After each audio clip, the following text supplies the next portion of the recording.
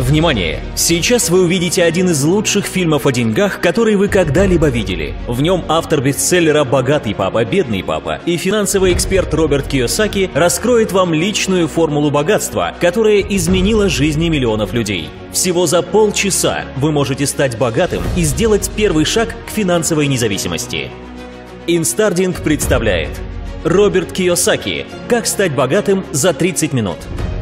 Три закона денег – для начала, давайте я вам расскажу о деньгах то, о чем многие даже не задумываются. Есть три основные правила, которые, как мне кажется, изменили мою жизнь. Первое — это то, что я понял в довольно раннем возрасте.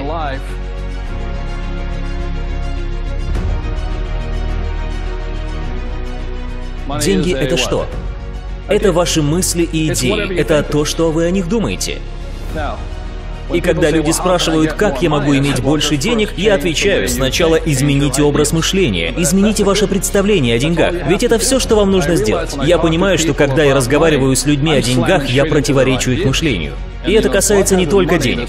Вы знаете, есть несколько тем, которые не обсуждаются за семейным ужином. Секс, религия и деньги. Может быть, что-то еще.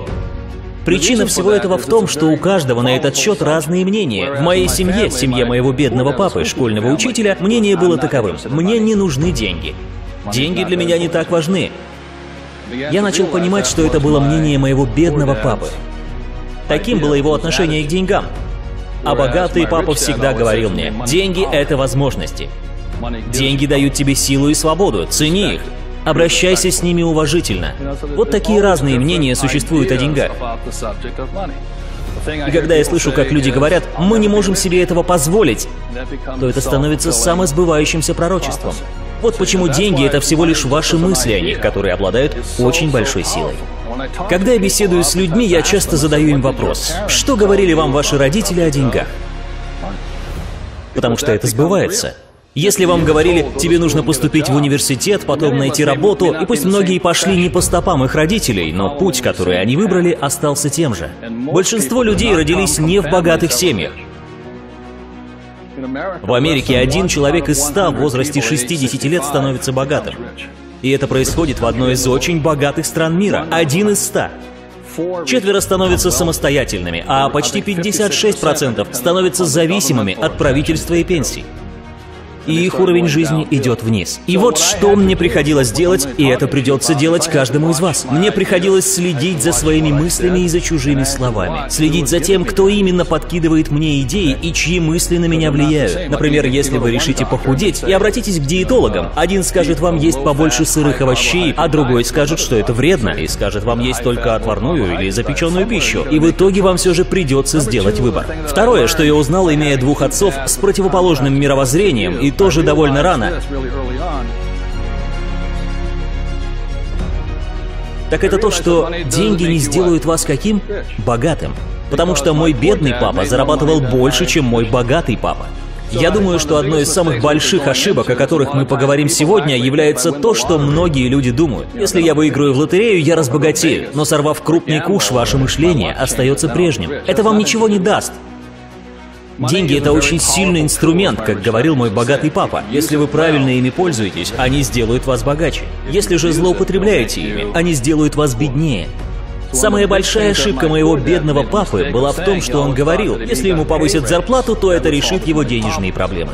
Но вся беда в том, что каждый раз, когда он получал эту прибавку, его денежные проблемы также прибавлялись. То есть, чем больше денег он зарабатывал, тем беднее и беднее он становился. Это очень большая проблема многих из нас. И, наконец, третье, что я осознал, потому что у меня было два отца с очень разными точками зрения. Это то, что деньги приносят проблемы двух типов. Первый тип проблемы — это когда денег не хватает. А второй — это когда денег слишком много. И обе проблемы — это очень важные проблемы. Знаете, большинство людей считают, что они особенные, что они единственные, у которого есть особые проблемы с деньгами. Но на самом деле проблемы есть у всех. У каждого отдельного человека, у каждой компании есть проблемы с деньгами. У каждой страны они есть, у каждого правительства. У всех есть проблемы с деньгами. Но что делит нас на богатых и бедных, и на средний класс? Это то, как мы отвечаем на этот вызов, как мы решаем эти проблемы, и что же делают большинство людей. Все мы в основном выросли в семьях, где проблема была слишком мало денег. В этом и заключалась ловушка. Это становится нашей идеей. Мы начинаем думать, что деньги — это что-то пугающее, что их трудно заработать и что нужно очень много трудиться для этого. В самом начале своей жизни я осознал, что быть бедным и зажатым отражается как в зеркале на моем лице. Мне это не понравилось. Но я вырос в семье, где богатых считали плохими, злыми, бессердечными, негуманными и жадными. Так что, когда я сказал, что хочу стать богатым, мне пришлось пойти против ценностей своей собственной семьи. Мне было тяжело сделать это. И еще я видел, как мой богатый папа удачно управлял своими деньгами. И делая это, становился владельцем бизнеса и инвестором, он становился все богаче и богаче. У него была проблема второго типа. Слишком много денег. Когда мне было 18 или 19 лет, он сказал мне, «Сынок, есть два типа проблем с деньгами. Их либо слишком много, либо слишком мало. Какой выбираешь?» Вот такой вопрос. Так что я сделал очевидный выбор. Мне больше нравится, когда слишком много денег. Да, это действительно мне нравится. Я хочу иметь такую проблему, и это большая проблема. Итак, осознав эти три правила, я смог увидеть разницу между мышлениями, те альтернативы, которые у меня есть в жизни. Выбор.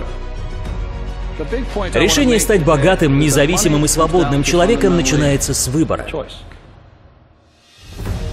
Деньги — это только вопрос выбора, и все.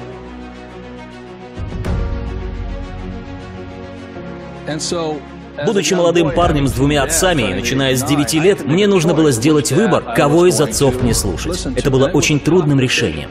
Мне не было просто, ведь я любил их обоих. Оба они были мужчинами с большой буквы. Они оба были влиятельными, сильными духом, добрыми, честными и трудолюбивыми мужчинами. Я любил их обоих. Но их идеи кардинально отличались. Они были совершенно противоположны друг другу. А мне нужно было решить, кого из них послушать. За кем из них последовать? Какой путь выбрать? И я выбрал. Это было трудное решение, потому что мне пришлось пойти против культуры и верований всей моей семьи, семьи школьных учителей. Когда я вернулся из Вьетнама, я сказал, «Все, теперь у меня есть степень бакалавра». И когда отец сказал, «Итак, сынок, теперь ведь ты пойдешь учиться на магистра?» Я ответил, «Знаешь, скорее всего, нет». Он сказал, но тогда ты ведь не найдешь хорошую работу, и у тебя будет больше зарплата, если у тебя будет выше степень. Я сказал, а я и не собираюсь искать работу. Он вообще-то запрещал беседы за обеденным столом на такие темы, но не в этот раз. Так ты и докторскую степень не будешь получать, я сказал. Если я не получу магистра, то доктора мне уж точно не дадут. Понимаете, это правительственная модель, которая основывалась не на том, чем ты занимался, а на том, насколько высокая у тебя степень образованности. Это была его реальность, но не моя. Одним словом, я мог выбирать. Всем этим я хочу сказать, что каждое утро я просыпаюсь и делаю тот же самый выбор. Каждое утро я снова и снова выбираю то же самое. Я делаю выбор между тем, или быть бедным, или быть средним классом, или быть богатым. У нас у всех есть такой выбор.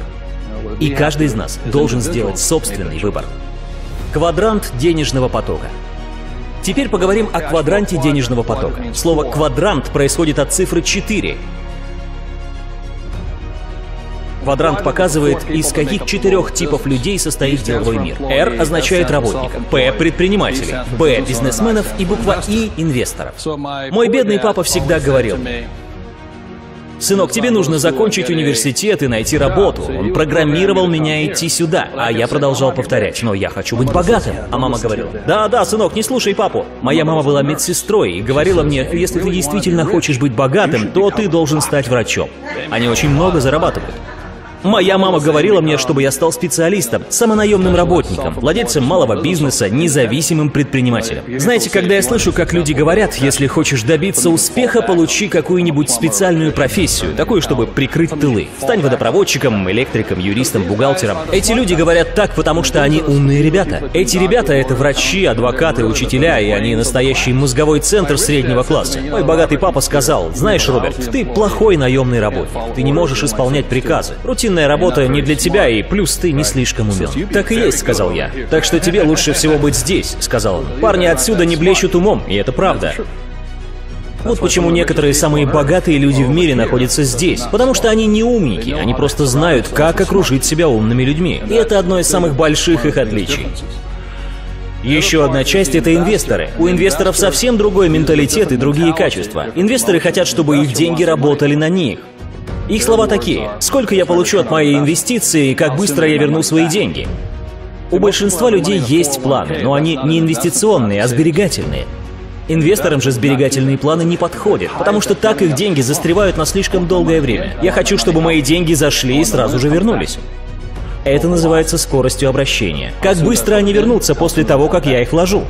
Сберегатели вкладывают и надолго забывают про свои деньги. Это другая система ценностей. Мой богатый папа говорил, ты можешь узнать наемных работников по их словам, так как они всегда пользуются одними и теми же словами. Я ищу надежную и безопасную работу с льготами. Всегда. Мой богатый папа также говорил, ты можешь узнать и самонаемного человека, потому что он говорит такие слова. Вы должны заплатить мне столько-то, я беру комиссию в размере 6%. Так, например, говорят брокеры по недвижимости. Или стоимость моих услуг 100 долларов в час. Или эту работу я сделаю за столько-то. Для этих людей время — это деньги. Владельцы бизнеса говорят, я ищу умных людей, мне нужны специалисты. Они хотят двигаться дальше, чтобы запустить еще один бизнес. У них много корпораций, и это их сильно отличает. А инвестор говорит, мне нужен коэффициент возврата инвестиций. Есть большая разница между владельцем малого бизнеса и между владельцем крупного бизнеса. Разница очень простая. Если владелец большого бизнеса сделает все правильно и построит компанию, он может отвлечься от бизнеса. А когда он вернется, компания будет работать без него еще лучше, потому что компанией управляют правильные люди. А если владелец малого бизнеса продолжает оставаться в малом бизнесе, бизнесе не развивается, то его доходы упрутся в потолок. А если у него есть наемные работники, и они косячат, ему приходится все время за всем следить. В этом основная разница между ними. Также разница между С и Б — это масштабы их идей. Например, ко мне часто подходят люди и говорят, я хочу открыть ларек по продаже гамбургеров. Всего один ларек, спрашиваю я. А вот Рэй Крок открыл рестораны по продаже гамбургеров по всему миру.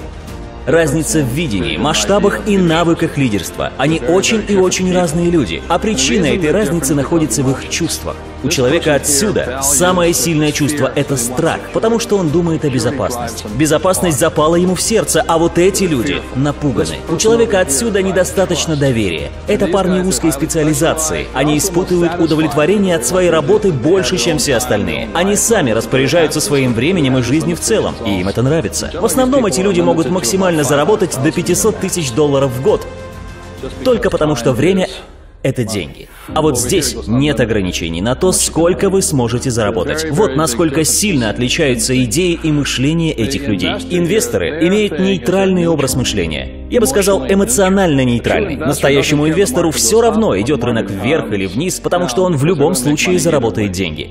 Это настоящий инвестор. Ему действительно все равно. Он знает, что проигрыш — это часть выигрыша. В книгах по управлению деньгами рассказывается, как это делать. Инвестор абсолютно нейтрален, а человек отсюда отличается терпением. Ребятам из этих квадрантов нужно, чтобы им заплатили прямо сейчас, а люди из этих квадрантов, возможно, долго не смогут получить свои деньги. Три года, например.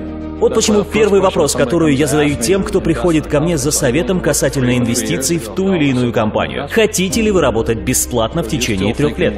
Они мне говорят, нет, кто ж тогда не инвестируйте, потому что вы все еще не изменили свое мышление.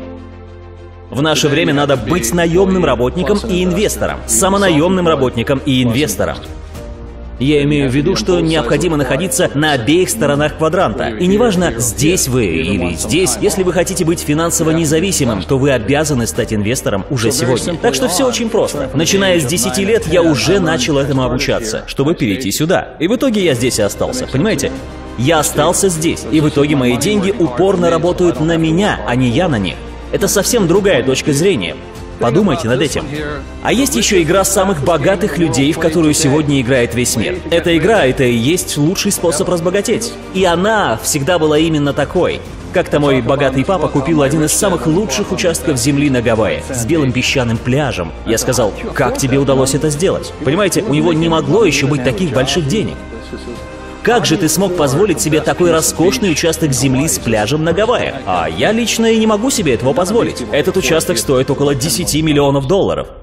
Лично сам я не могу его купить, но мой бизнес может. Это один из самых больших секретов. Так что причина того, что я начал отсюда и учился создавать бизнес, заключается в том, что бизнес дает мне возможность заниматься инвестированием. Лично сам я не могу это сделать. Я столько не зарабатываю, но моя компания зарабатывает.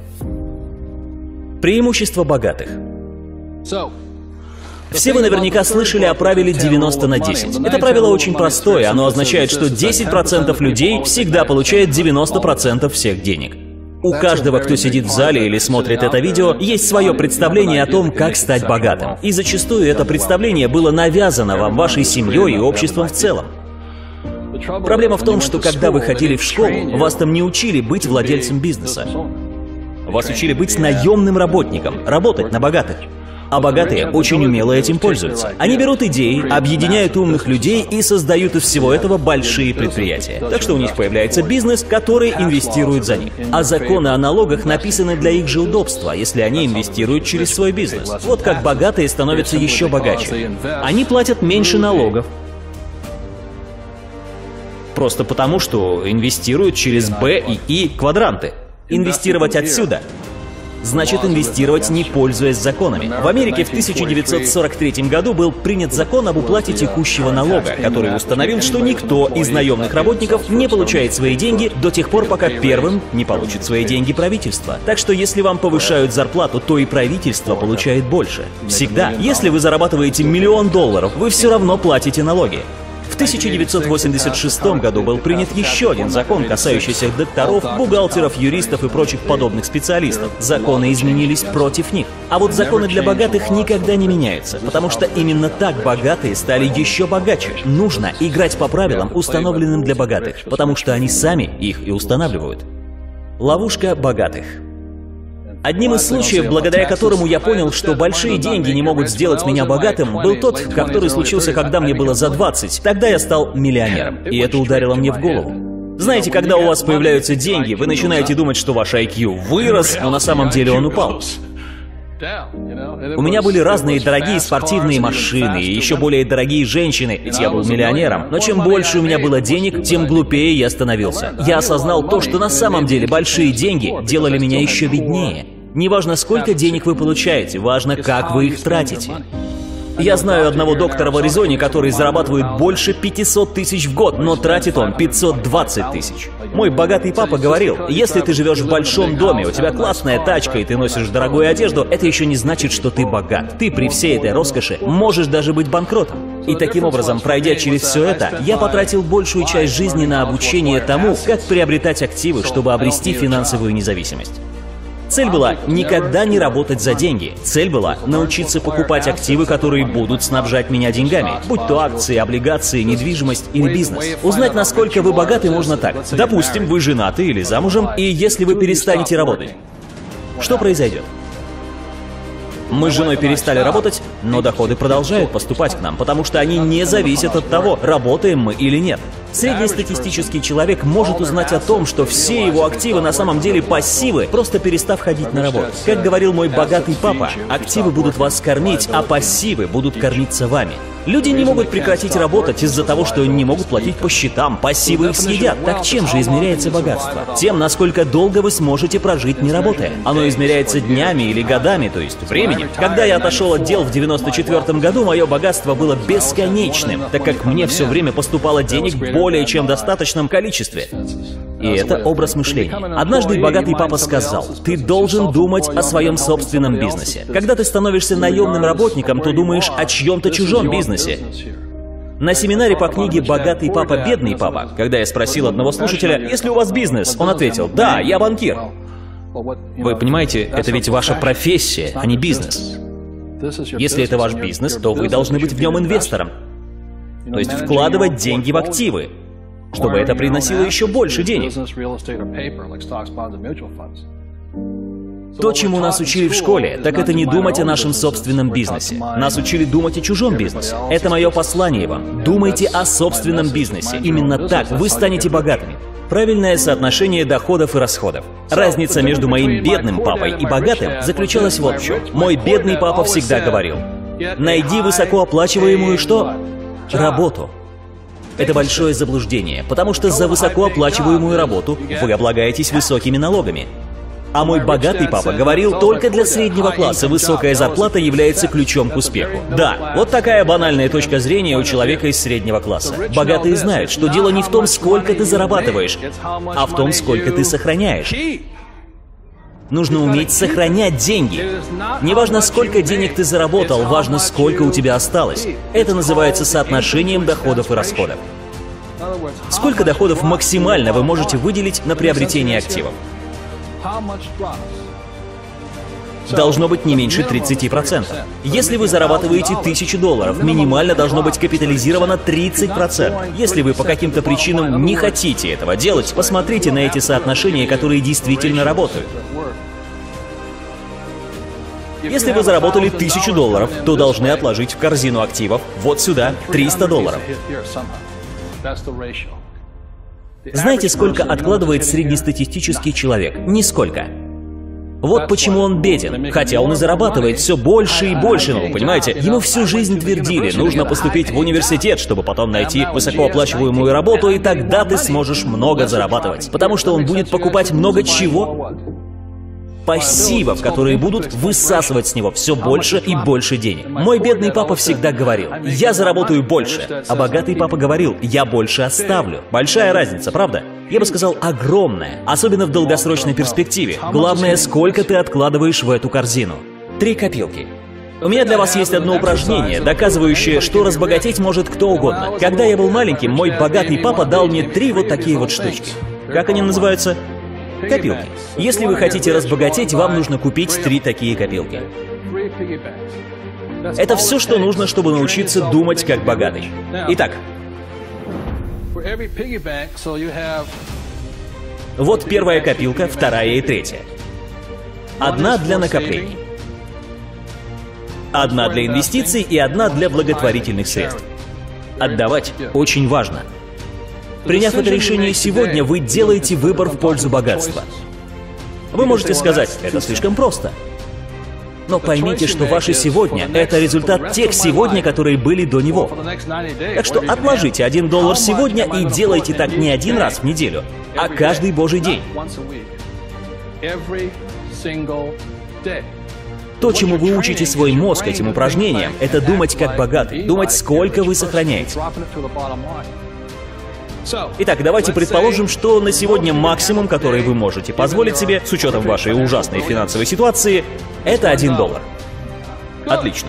Понимаете, не важно, с какой суммой вы это делаете, важно, делаете ли вы это вообще. Вы не можете пойти в спортзал и за сутки стать таким, как Арнольд Шварценеггер. Чтобы стать таким, вам нужно каждый день на протяжении многих лет ходить в спортзал и не пропускать тренировки. Итак, кто бы из вас мог, начиная прямо с этого дня и до конца своей жизни, откладывать каждый день сэкономленные 3 доллара по одному в каждую копилку? Хорошо, отлично, все могут это делать. Но реальность такова, что большинство людей не будут этого делать, а ведь это такая мелочь. Как только этот доллар упал на дно копилки, он становится вашим до конца жизни, и после вашей кончины он останется следующему поколению. А средний класс ищет какие-нибудь дешевые и примитивные отговорки, чтобы все-таки разбить копилку. Ты не понимаешь, мне нужны были эти деньги. Неважно, с какой суммой вы это делаете. Важно то, что это становится вашей привычкой, вашим образом мышления. Так что начните прямо сегодня, с одного доллара. Теперь давайте добавим нолик и дойдем до 10. В этот момент люди все еще говорят, ну это не так уж и сложно. Попробуйте отложить 30 долларов в день. Не замечаете усиление сердцебиения? Теперь вы на грани того, что можете себе позволить. А ведь мы добавили всего один нолик.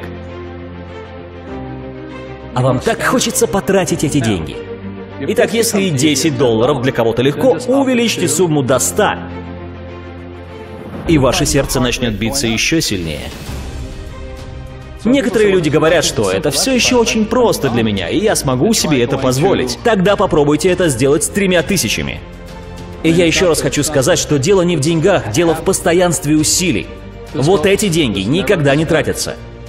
Вот эти деньги на приобретение активов. На них вы покупаете собственность, акции. Вы даже можете их потерять, если вдруг такое случится. А эти вы никогда не потеряете. Эти деньги вы отдаете на благотворительность, туда, куда считаете нужным. Я отдаю деньги на те благотворительные цели, которым, как мне кажется, необходимо мое участие, но на которые, к сожалению, у меня нет времени. Мой богатый папа отдавал деньги церкви, мой бедный папа ничего не отдавал. Он говорил, вот когда у меня самого будут деньги, тогда я их и буду отдавать. Поэтому он и оставался бедным. Я хочу отметить, что мой бедный папа верил в безопасность работы, а богатый папа — в финансовую безопасность. Итак, как добиться финансовой независимости? Все просто. С помощью этих трех копилок. Это основа. Сбережение, инвестиции, благотворительность. Так начинается путь к финансовой безопасности. Нужно начать с этого. Я начинал именно так. Понимаете, мне это нравилось. Нравилось быть богатым. Как находить хорошие сделки. А сейчас я вам хочу рассказать, как я накапливаю опыт и нахожу хорошие сделки. Вы можете спросить об этом у моей жены. Сколько я проанализирую объектов недвижимости, прежде чем купить один из них? 100. Такое правило. Понимаете, прежде чем что-то купить, я проанализирую минимум 100 сделок. А если из 100 объектов я не покупаю ни одного, я начинаю все сначала. Вот такое соотношение 100 к одному. Вот как я нахожу сделки. А если у меня не было денег, что я делал? Я все равно продолжал искать сделки. Я тренировался, понимаете, я накапливал опыт. Бывает такое, что мне люди говорят, мы пошли к риэлтору, нашли один объект и сразу же его купили. А сколько объектов вы посмотрели? О, только этот. Это идиоты, а не инвесторы. Это глупый подход к инвестированию. Единственный способ узнать рыночные тренды, начать разбираться в ценах и прочих рыночных данных, это проанализировать 100 сделок. Из 100 сделок вы делаете предложение по 10 из них, потому что остальные 90 — это плохие сделки. А пока вы практикуетесь в анализе сделок, вы становитесь сообразительнее и умнее. С каждой новой сделкой я узнаю все больше и больше. Из 10 сделок, в которые я собрался инвестировать, мне одобрили 3. Это правило доктора Дольфа де Роза. Гения недвижимости. Он говорит, что если здесь будет стоять цифра 6, то что это будет означать? что вы предлагаете слишком много денег. Вам нужно просить скидки побольше, уменьшить свои предложения, чтобы в итоге на них согласились только три продавца. И я стараюсь придерживаться этого правила и покупаю в итоге лучший объект из трех. Люди говорят, а как мне этому научиться? Все очень просто. Вам нужно оценивать сделку за сделкой. Я хочу, чтобы вы поняли следующее. Я проанализировал более 50 тысяч сделок. Вот как я стал умнее. Вместо того, чтобы искать работу, я искал сделки. При покупке бизнеса коэффициенты те же. 100, 10, 3, 1. При покупке акций я оцениваю 100 компаний. Те же коэффициенты. И каждый из вас может так делать. За это даже можно не платить. Вы можете сами этим заниматься, это бесплатно. Вот что обеспечило мне финансовую безопасность. А мой бедный папа концентрировался на чем? На безопасности рабочего места. Страх. Большинство людей не хотят тратить свое время на обогащение, и для большинства инвестиции это что-то слишком рискованное и страшное. И даже если они видят хорошую сделку, они трусят и отступают. Меня замучили тем фактом, что 9 из 10 бизнесов разоряются. Я отвечаю, да, верно. Большинство из них неудачны, но один из них удачен. Я говорю, послушайте, я разорялся дважды. Я два раза был одним из тех девяти, но однажды я попал в десятку. И самая большая ошибка, которую совершал мой бедный папа, была в том, что он всегда мог точно сказать причину будущей неудачи. Когда я первый раз разорился, я чувствовал себя ужасно примерно в течение года. Это было ужасно. Я потерял свои миллионы. Моя самооценка сильно упала. Я опять был бедным, без своей крыши над головой. Но когда я все вернул, я стал еще сильнее. Когда я разорился второй раз, у меня было примерно 6 месяцев депрессии. А в третий раз я победил. В тяжелые периоды мой бедный папа мне говорил, ты проиграл. А мой богатый папа говорил, ты слишком мало пока проигрывал. Вот какая разница в мышлении. И еще мой богатый папа говорил, неудача — это всегда часть удачи. Люди, избегающие неудач, избегают и удачу. Ваши самые большие расходы — это не те, что вы тратите, а те, которые не зарабатываете из-за своего страха. Так что вот чему мой богатый папа научил меня почти сразу, тому, что такое страх. Он расшифровал его так. Проигрывай в самом начале и учись. Смотрите, если вы знаете, что проиграете, то проигрывайте сразу, не выжидайте. Потому что каждый раз, когда вы ошибаетесь, вы умнеете, если, конечно же, извлекаете урок из этого. Так что я говорю людям, проигрывайте как можно раньше, но как можно меньше. Первая сделка, которую мы с женой заключили, когда вновь вернулись к инвестированию в недвижимость, была на 45 тысяч долларов, и первый взнос составлял 6 тысяч долларов. Если бы мы проиграли на этой сделке, то стали бы гораздо умнее. Но мы не проиграли, мы раздвинули границы. Мы увеличивали и увеличивали размеры наших сделок и надеялись на неудачу. Все стараются избегать неудач, а я надеюсь с ней встретиться, потому что она сделает меня еще умнее. Таким образом, я открываю свой разум для новых знаний. Я не отрицаю своих ошибок, я принимаю их. Я осознаю ошибки, извлекаю пользу и двигаюсь дальше. И напоследок я вам хочу напомнить, что вам придется сделать выбор. Я делал выбор, когда был маленьким мальчиком, который выбирал, кого же ему все-таки слушать. И делаю выбор сейчас. Каждое утро я просыпаюсь и делаю свой выбор. Так что сделайте собственный выбор. За 30 минут нельзя разбогатеть, но за 30 минут можно изменить мысли, которые помогут тебе разбогатеть.